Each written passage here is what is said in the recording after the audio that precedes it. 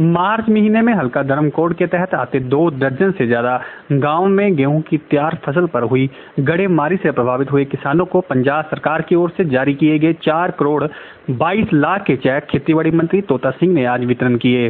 खेतीबाड़ी मंत्री तोता सिंह ने बताया कि पंजाब सरकार राज्य के किसानों के हितों के लिए वचनबद्ध है। मार्च महीने में धर्मकोट के दो दर्जन से ज़्यादा गाँव में हुई गड़ेमारी से सात हज़ार तीन सौ एकड़ गेहूँ की फ़सल खराब हो गई थी। सरकार की ओर से हर किसान के खेत की गुरदावरी करवाकर रिपोर्ट पंजाब सरकार को भेजी गई, जिसके लिए आज पंजाब सरकार की ओर से इक्कीस गाँवों के किसानों के लिए चार करोड़ बाईस लाख के चेक भेजे गए हैं। सात हज़ार तीन सौ एक एकड़ नुकसान हुआ है।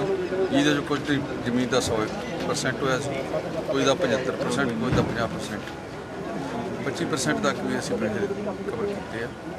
ਔਰ ਟੋਟਲ ਅਮਾਉਂਟ 4 ਕਰੋੜ 22 ਲੱਖ ਰੁਪਏ ਜਿਹੜੀ ਬਣੀ ਹੈ ਮੁਆਵਜ਼ੇ ਦੀ ਜਿਹੜੇ ਸਾਡੇ ਕੋਲ ਸਰਕਾਰ ਕੋਲ ਪੈਸੇ ਆ ਗਏ ਜਿਹੜੇ ਅੱਜ ਵੰਡੇ ਆ ਕੁਝ ਵੰਡੇ ਆ ਬਾਕੀ ਇਹਨੂੰ ਕਹਿੰਦਾ ਇਸ ਹਫ਼ਤੇ ਸਾਰੇ ਪਿੰਡ ਪਿੰਡ ਜਾ ਕੇ ਵੰਡ ਗਏ। ਜਿਸ ਪਿੰਡ ਦੇ ਪੈਸੇ 22 ਪਿੰਡਾਂ 'ਚ ਨੁਕਸਾਨ ਹੋਇਆ ਸੀ।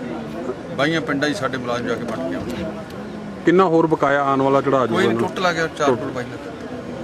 वहीं चेक हासिल करने वाले किसानों के अनुसार पंजाब सरकार का वह धन्यवाद करते हैं और कहा कि सरकार की ओर से नुकसान के दिए मुआवजे ने किसानों के जख्मों पर मलहम का काम किया है उन्होंने कहा कि हालांकि भगवान के आगे किसी का जोर नहीं चलता लेकिन सरकार ने किसानों को आज चेक देकर उनका दुख बुला दिया है ਤੇ ਸਾਡੇ ਗੜੇਮਾਰੀ ਹੋਈ ਸੀ ਜੀ ਤੇ ਗੜੇਮਾਰੀ ਜਾਰੀ ਹੋ ਗਈ ਸੀ ਤੇ ਇਸ ਕਰਕੇ ਨਾ ਸਾਡੇ ਤਾਂ ਕਣਕ ਸਾਰੀ ਸੀ ਉਸੇ ਵਾਹ ਵੱਢ ਕੇ ਪਰਾਂ ਵੇਚ ਦਿੱਤੀ ਫਿਰ ਆਹ ਫਸਲ ਬੀਜਿਆ ਤੇ ਆ- ਅੱਜ ਸਾਨੂੰ ਉਹ ਜਿਹੜਾ ਫਸਲ ਦਾ ਮੁਆਵਜ਼ਾ ਤਾਂ ਸਰਦਾਰ ਤੋਤਾ ਸਿੰਘ ਜੀ ਜਹਦਾਰ ਸਾਹਿਬ ਨੇ।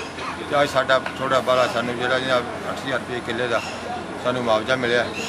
ਕੋਈ ਸਾਡਾ ਇਹਨਾਂ ਨਾਲ ਕੋਈ ਸਿਰਾ ਬਣ ਜਾਏਗਾ। ਕਿੰਨੀ ਤੁਹਾਡੀ ਉਦੋਂ ਫਸਲ ਖਰਾਬ ਹੋ ਗਈ ਸੀਗੀ?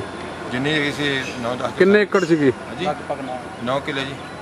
ਹੁਣ ਤੁਹਾਨੂੰ ਜਿਹੜਾ ਮੁਆਵਜ਼ਾ ਮਿਲਿਆ ਹੈਗਾ ਕਿੰਨਾ ਪ੍ਰਤੀ ਏਕੜ ਮਿਲਿਆ ਤੁਸੀਂ ਅਹ, ਸੰਤੁਸ਼ਟ ਹੋ?